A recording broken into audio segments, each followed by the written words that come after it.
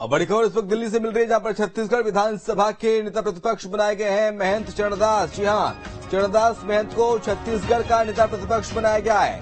AICC ने आदेश जारी कर दिया बड़ी खबर इस वक्त आपको बता रहे हैं। तो छत्तीसगढ़ में विपक्ष का नेतृत्व करेंगे चरणदास महंत, उन्हें नेता प्रतिपक्ष बनाया गया है।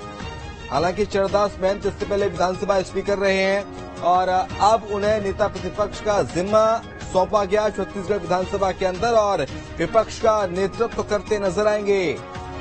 पूर्व विधानसभा अध्यक्ष चरणदास महंत